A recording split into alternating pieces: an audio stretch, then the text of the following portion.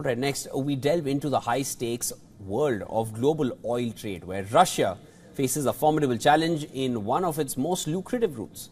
The decades long dominance of the US dollar in international oil transactions is now under scrutiny due to political hurdles and the complexities of currency conversion.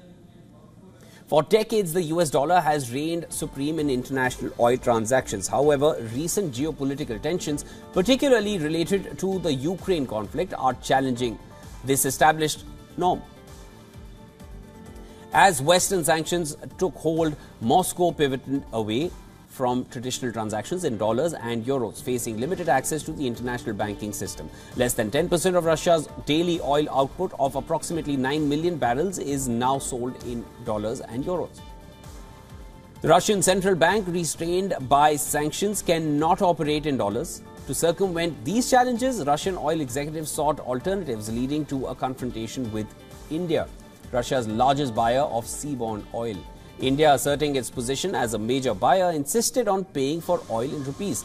This demand collided with informal guidance from the Russian central bank, signaling non acceptance of the currency.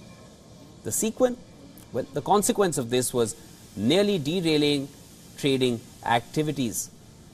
As the drama unfolded, temporary solutions involving yuan, Hong Kong dollars, and the UAE dirham emerged.